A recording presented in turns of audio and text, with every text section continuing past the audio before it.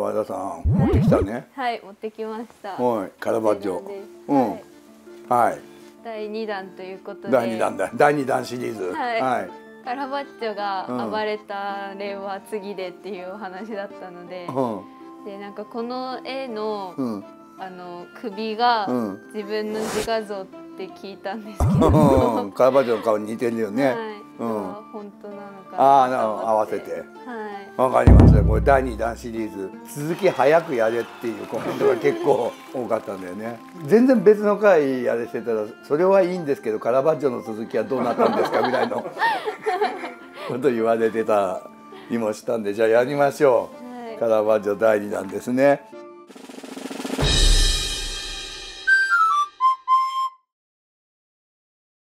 えー、と前回1600年、えーですよ、えー、29歳の時にこの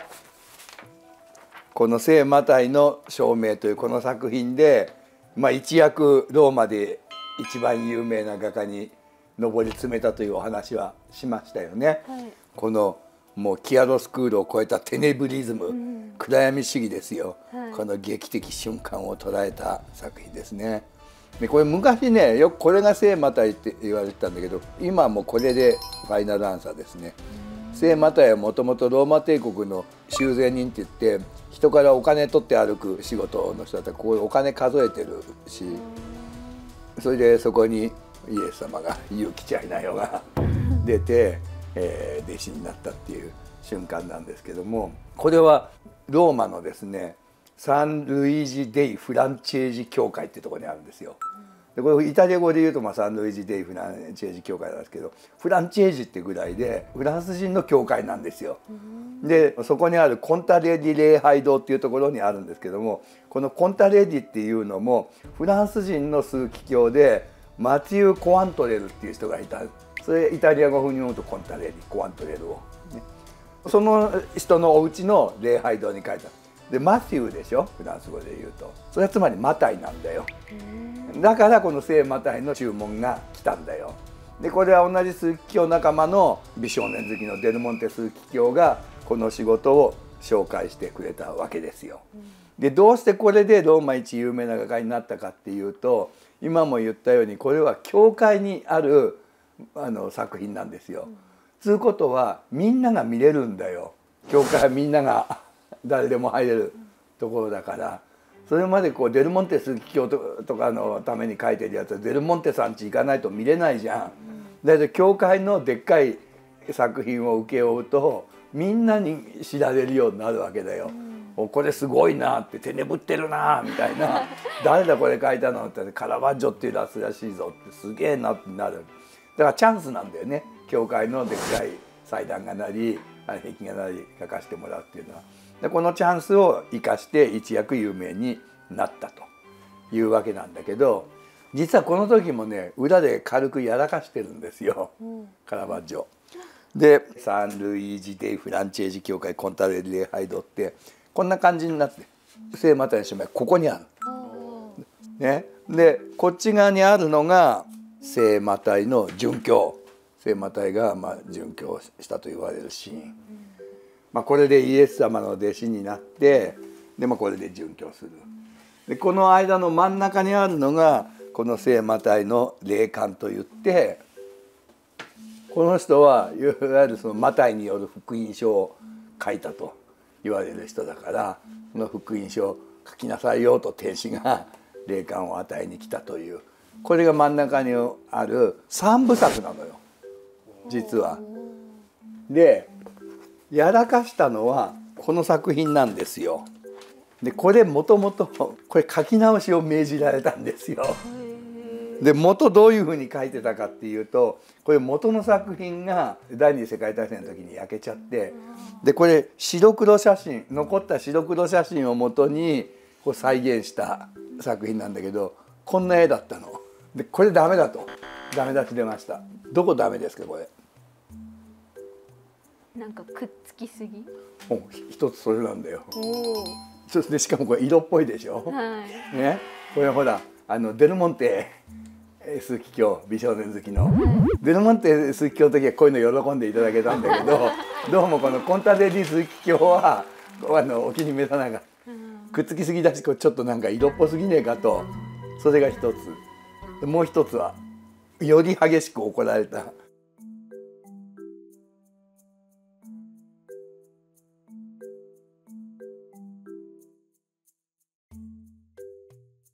これ聖マタイなんだよだからね聖マタイだよコンタデリス枢機卿の、まあ、名前にもなっている聖マタイこれはこの人の偉大さを書いてくれっていう話ですよ。なんか服が軽装すぎる。え？おお。本当ですか？うん。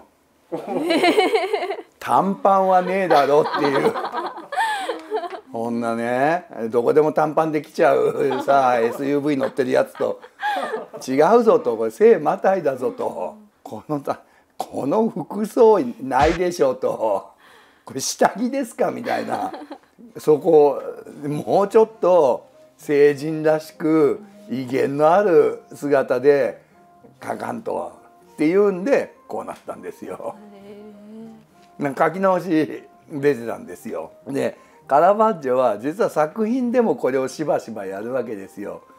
前回もお話したけどほら前回聖カタリナっていうね聖女をあの有名な 娼婦 notorious 娼婦をモデルに描いちゃったりしてでちょっと言われたっていうのあったじゃないですか。はい、でこれもやっぱりこのリアリズム出しちゃってるわけですよ。いやうちの中で あのなんか書いてる時に天使が来たんだからこんな感じっしょみたいなで多分その辺のおっさんモデルにリアルに書いちゃったんですよ。でそのリアリズムいらねえって言われたんですよ。でもこのリアリズムっていうのは実はもうこれキアロスクードとかテネブリズムばっかり明暗表現ばっかり言われるんだけどそれ以上に重要なカラバッジョの革新性だと思うんだよね。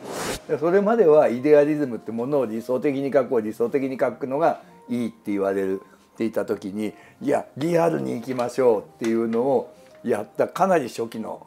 人なんですよ。かなりここがカラバッジョの偉大なとこなんですよ。で同じ理由でやらかしてダメ出しが出た作品例えばこれなんかも同じ理由でダメ出しが出たんですよ。これ。これは、えー、聖アンナと聖母子イエス様とマリア様とマリア様のお母さんのアンナ聖アンナ様を書いた。何がダメですかこれ。これに至ってはもう注文集激怒ですよ。ちなみにこのななんで蛇踏んでるかっていうと、はい、これはキリストがその悪魔を退治するっていうそういう意味だからね。ここはまあ忘れてくれ。蛇踏んでることは別に怒られてない。マリア様を踏んでマリア様もこう竜を踏む姿でよく書かれるからね。そこじゃないんで怒られたの。さっきほらリアリズムで怒られたって言ったじゃん。聖魔隊も、はい、例えばどういうとこ？アンナ様？うん。アンナ様何がいいか？黒い。違うよそこじゃ。なんだろう。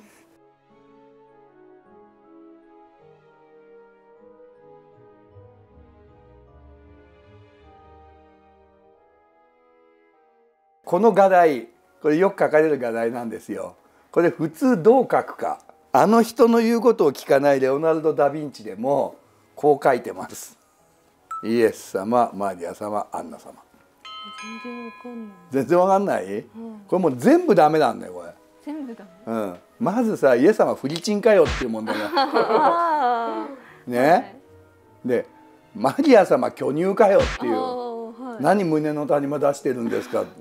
で何よりもこれを頼んだのはバチカンの馬を世話する人たちの組合で聖アンナ同心会っていう人でこの人を守護聖人とするその会が頼んだんだよ。はい、ババアかよ 見てみほら。あ確かに。あんまり大差ないうん、もう伝統的にこのマリアアンナどちらも若く書かれるんだよ。だけどカラバッジはなはずねえだろうと この人のお母さんなんだから、はい、それなりに年取ってないとまずいっしょっていうことででこれもまたあのその時代の女の人とか赤ちゃんをモデルにリアルに描いちゃったんですよ。だフリチンかよ巨乳かよババアかよでいい加減にしろが出たんですよ。でましてあの知ってるってうちせえあんな同心会なんだけどって。これはねって。でこれ受け取り拒否されちゃったんだよね。でそれを引き取ったの。いやだったら俺買うよって出てきたのがボルゲーゼ鈴木京っていう人でこの人がまたカラバッジョの新しいパトロンになっていくんですよ。でこうやってもういろんな鈴木京がどんどんパトロンになっていくわけですよ。魔法の次に偉い人たちが。でだからこう調子に乗っていくわけですよ。そこからこう名声に比例してね犯罪歴が増えていくっていうお話をして今日はそこを聞きたいということだと思うんですけれども。はい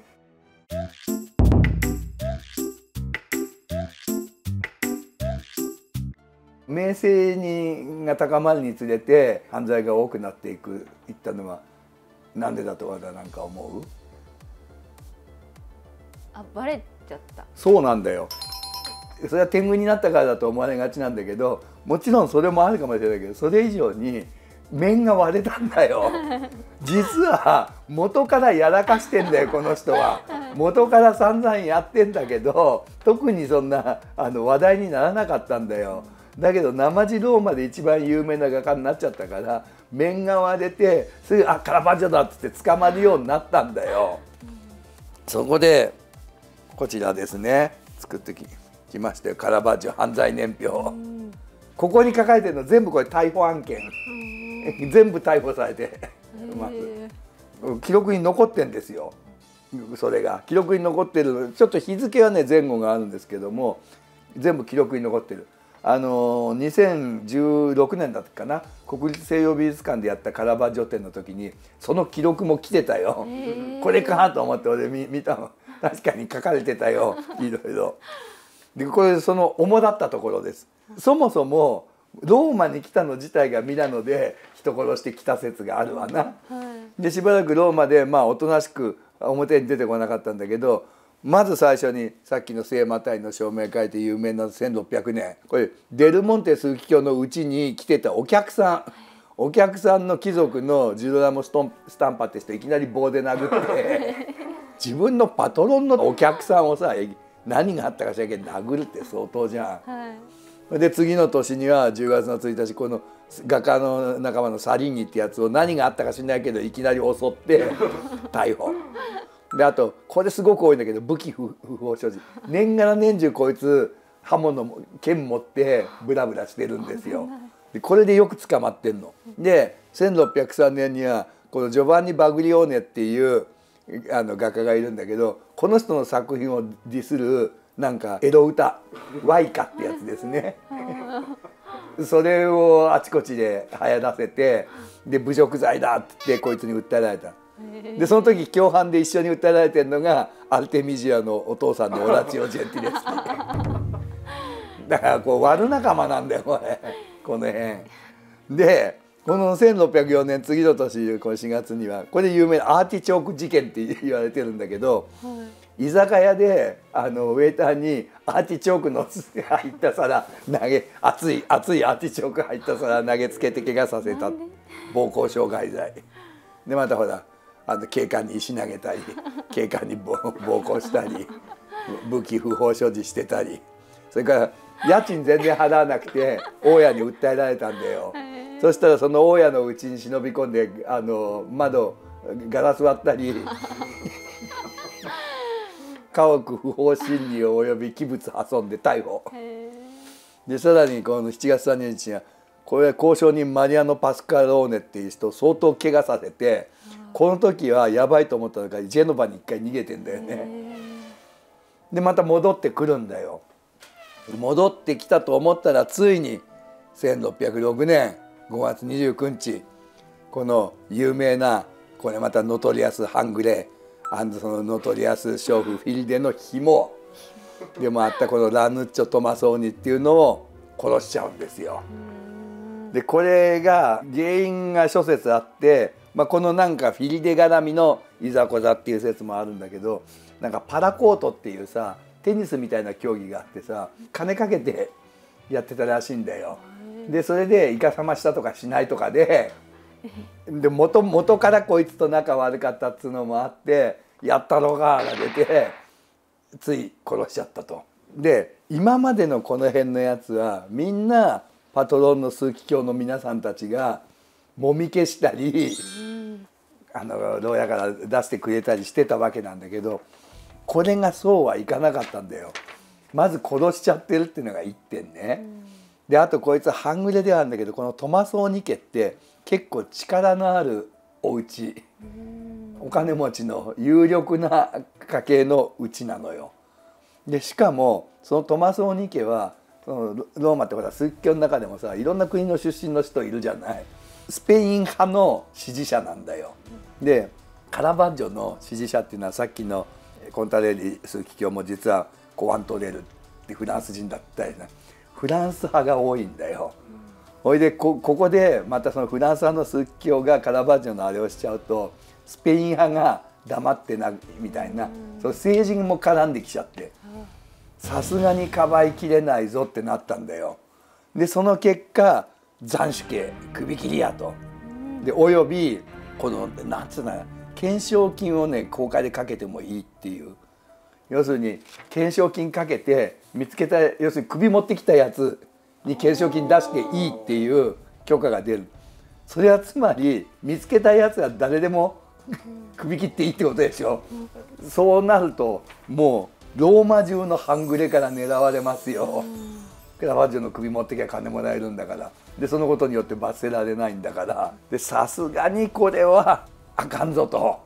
なってここから明政1600年にローマで一番有名な画家になって1606年6年間ですよ映画は。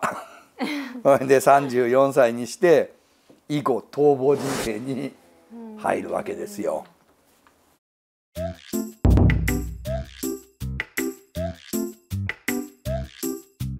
でこれがそのカラバッジョ逃亡地図だね。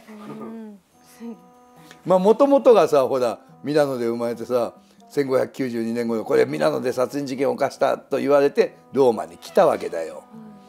でさっきも言ったように、えー、1605年には交渉人怪我させて一回ジェノバに逃げてまた戻ってきたわけだよ。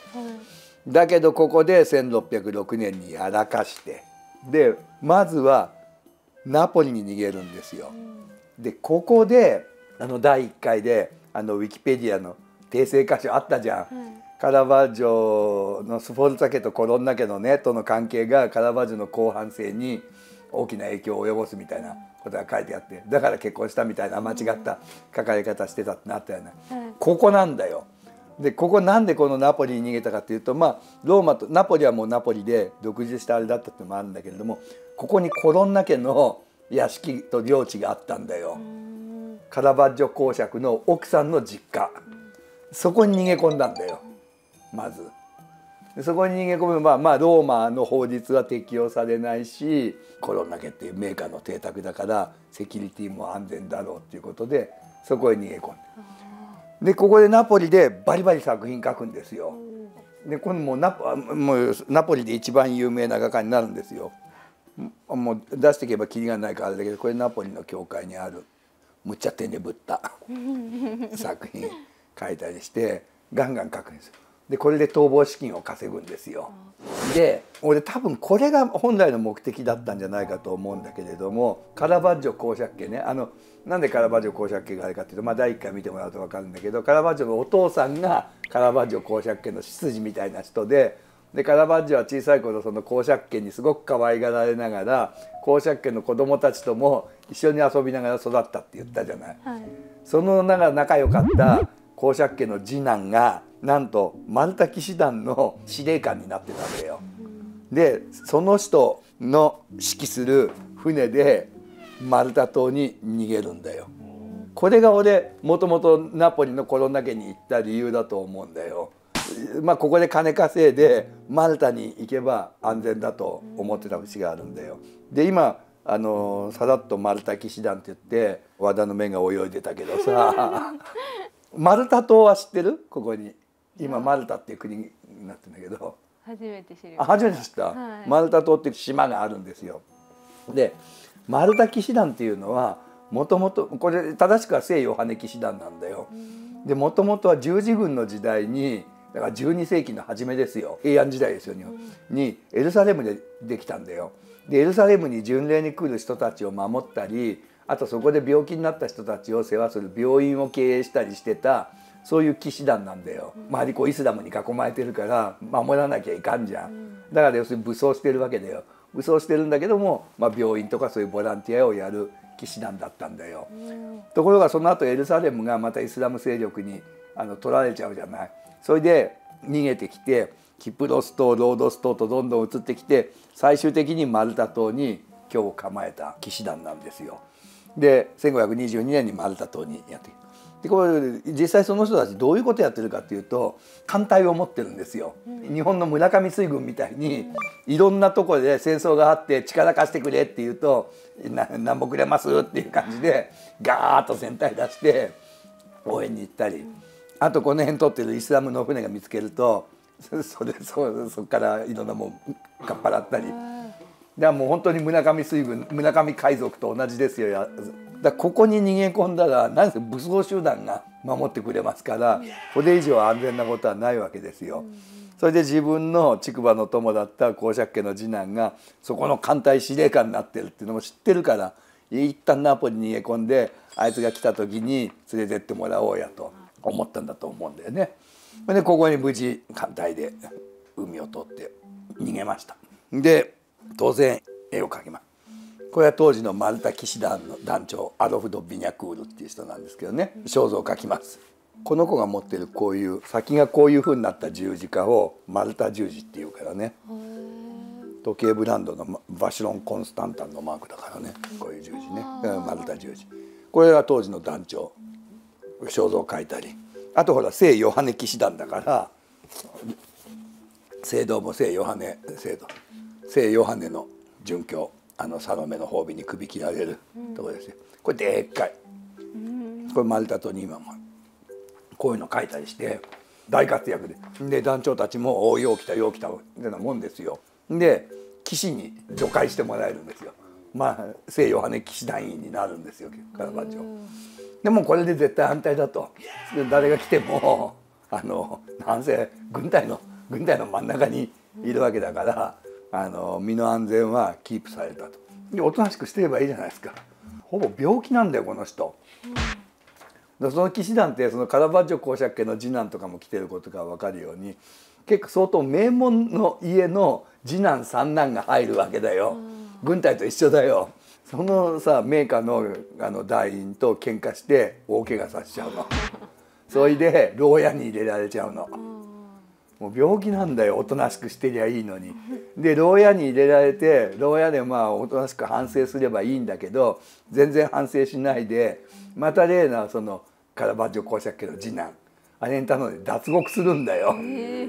脱獄してシチリア島に向かうんですよ。シチリア島近いんだよマルタから。でこれでマルタ騎士団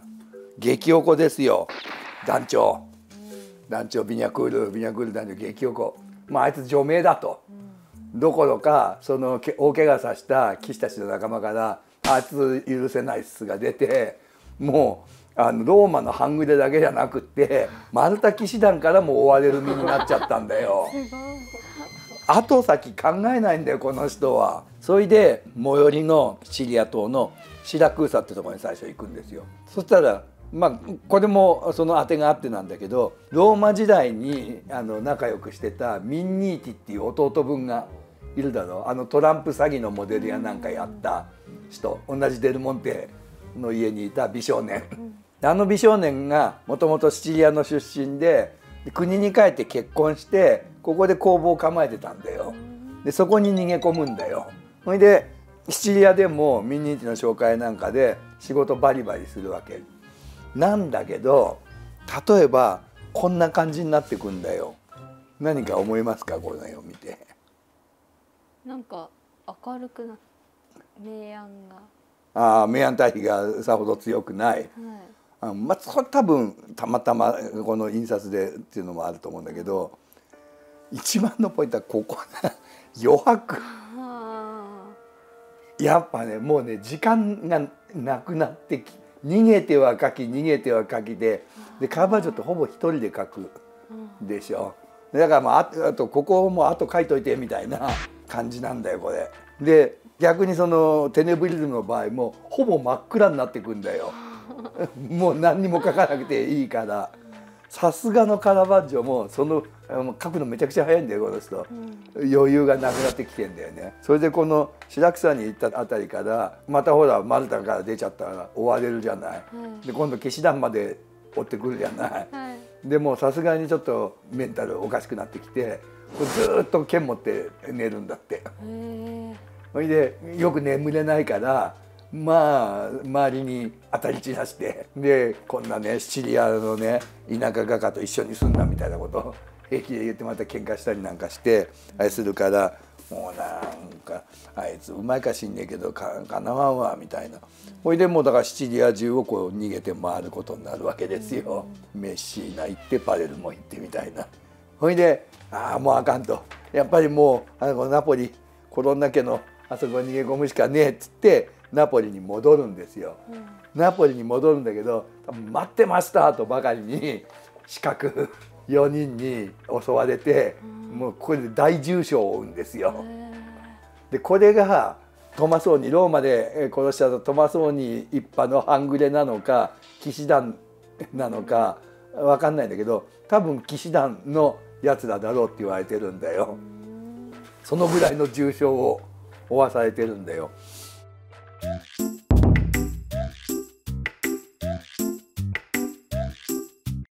でなぜ騎士団だろうと言われてるかっていうとカラバッジョはさすがに俺失敗したっていうんで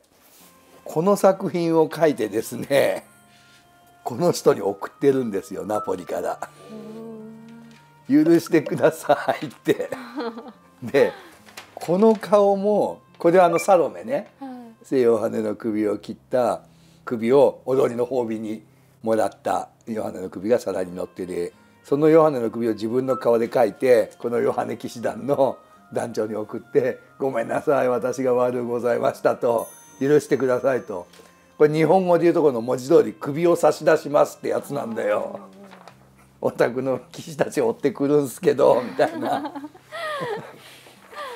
そうお前が悪いからだろみたいな。確かにそうです。だから首を差し出しますんで一つお許しをみたいな。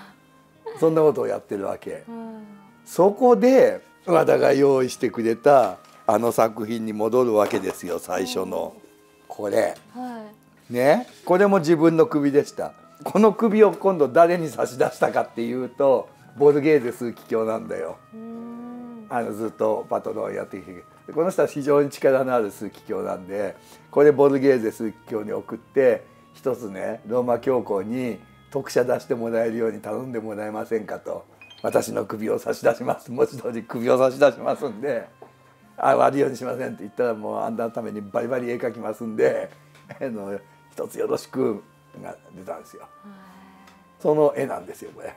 これはまああの巨人ゴリアテの首を切り落としたダビデなんだけどね。もう画題はどうでもいいんだよ。言いたいことは首を差し出しますなんだよ。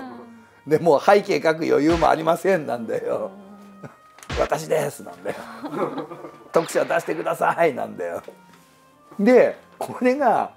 功を奏してかボルゲレス機卿とかデルモンテス機卿とかコンタレリス機卿とか頑張ってくれてどうも特赦出るっぽいようが出たんですよ。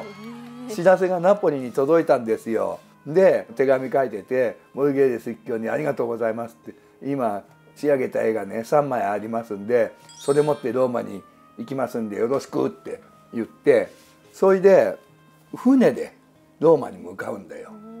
やっぱ陸路より船の方が安全と踏んでるんで乗員全部チェックできるじゃん。陸路だとどこで誰に襲われるか分かんないしローマに近づけば近づくほど危ないじゃん。面割れてるし。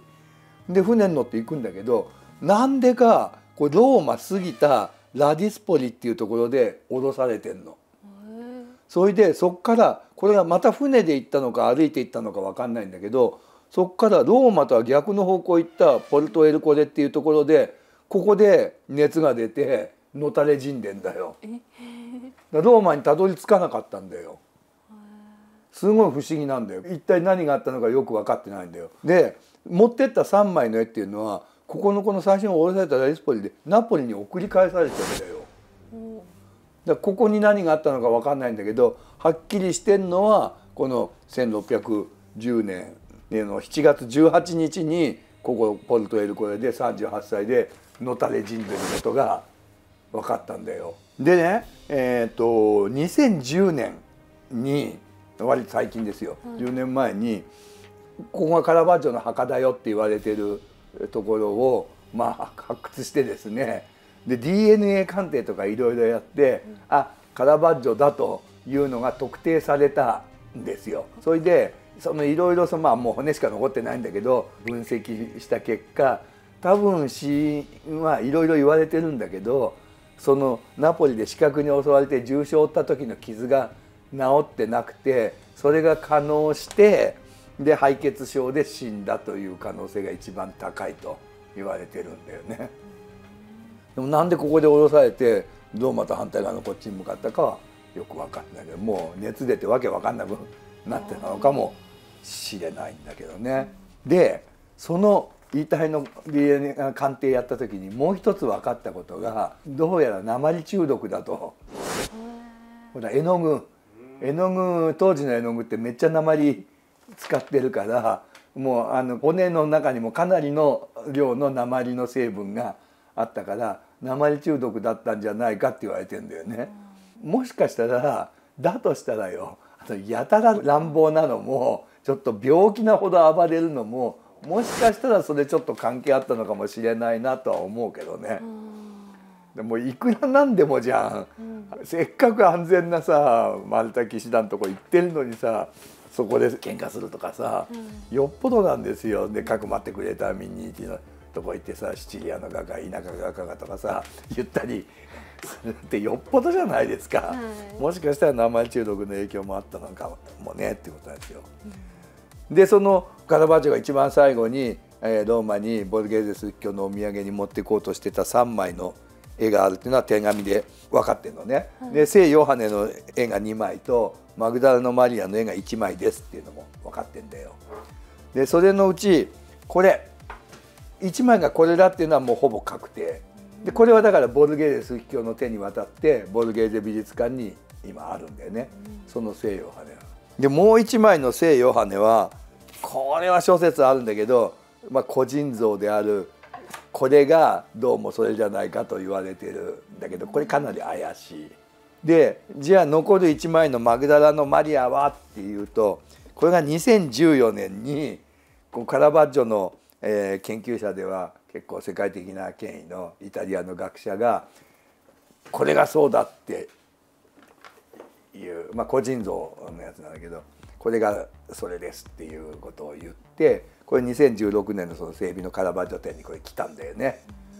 でこれねこの作品はものすごいいろんな人がコピーしてるんだよ。でカラバッジョの作品とかでカラバッジョってカラバジェスキとかカラバジェスキって呼ばれるフォロワーが山のようにいたって言ったんだ,、だからみんなカラバッジョの技法を勉強しようとしてむちゃくちゃコピーしてるしむちゃくちゃ似た作品書いてるんだよ。だからこれも何枚もあってどれがカラバッジョの新作か分からなかったんだよ、で2014年にこれだよって言われたんだけどもこれはもうそっくりなやつアルティメジア・ジェンティエスキも書いてるからね言われたんだけど、まあ、異論も多いということですね。カラバじゃないんじゃないかっていう説もあるっていうことなんですね。まあそんな話ですよ。分かった？暴れっぷりこの人の手に手に負えなさこれですよ。すごいね。えー、行く先々で書いては逃げ書いては喧嘩しね 後半生ただ逃げたまま死んだんだよだから。結局最後までローマに帰れなかったんだよ。カラバッチョの映画たった6年だったんだよ。だけれどもその残した影響は凄まじくでかいってことなんだよね。カラバッチョなくしてルーベンスもなければレンブラントもなければアルテミジア・ジェンティレスキもないっていうぐらい大きな影響を残したということです。これでカラバッチョ2回目。宿題のカラファージ大暴れ編をお届けしました。お楽しみいただけましたでしょうか